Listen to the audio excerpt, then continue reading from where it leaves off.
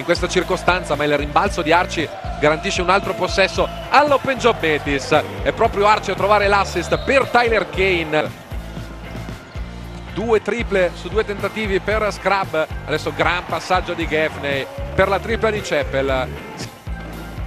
Gaffney, Moraschini questa volta non vuole tirare, cerca la penetrazione, arriva fino al canestro, appoggia il vetro di mano sinistra fino alla finalissima contro Cremona. Ora Varese a rischio 24 secondi, deve tirare Avramovic quasi sulla sirena. Sì, questa volta però non partendo dal meno 2 ma partendo dalla parità. Zanelli cerca un'altra tripla, segna anche questa, 2 su 2 dall'arco. Riesce lasciare la posizione per venire a portare un blocco. Salumu è rimasto libero, Erci in angolo, totalmente dimenticato Dominic Arci. Ah, essere di Avramovic evidentemente. Una segnata però il belga. Ora Arci riceve dentro il cuore dell'area, altro canestro al top della forma. Già la vigilia era dato in forse, 0 punti e 0 su 3 il tiro per lui, invece Rush intercetta il pallone. Con i guai Reggio Emilia, insomma, una partita che sarà tutta da vivere anche in posticipo. Ma noi ora torniamo a concentrarci su questa. Kane passaggio di tocco fuori per Ferrero. Spazio per il capitano di Varese.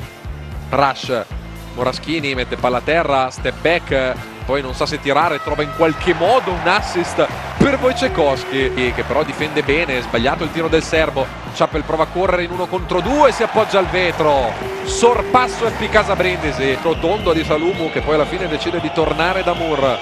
Palleggio reste tiro da tre dell'ex Pistoiese che non aveva tirato bene stasera era tra un po' probabilmente tornerà anche Avramovic per Varese che adesso è in panchina a riposarsi in vista della volata finale. Arci intanto palleggio resto tiro da due.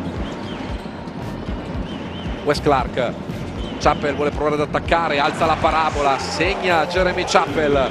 Moore per Avramovic che è tornato in campo. Ferrero Moore si prende il tiro da tre punti.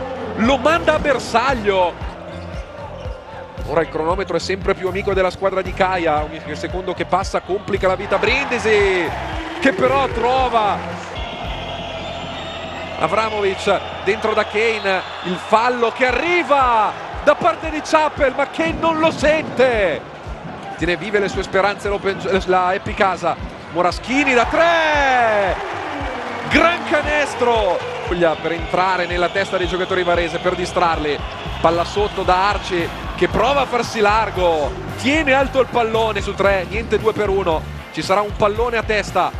Chappell tenta il tiro da tre punti. Si alza e spara. Varese sotto di due può andare per il pareggio per il sorpasso. Ronald Moore per il sorpasso. Sbaglia il tiro non ferma il gioco Varese. Arriva il fischio solo a due secondi dalla fine. Ma con questo libero può chiudere definitivamente il match proprio l'ex della partita. Adrian Banks che segna. Palla e prova a tirare per non dare un eventuale libero la riceve Salumo infatti sta fermo Rush lascia tirare Salumo comunque il tiro non va a bersaglio. E allora suona la sirena del pala Pentasuglia Brindisi vince ancora una volta. 81 a 77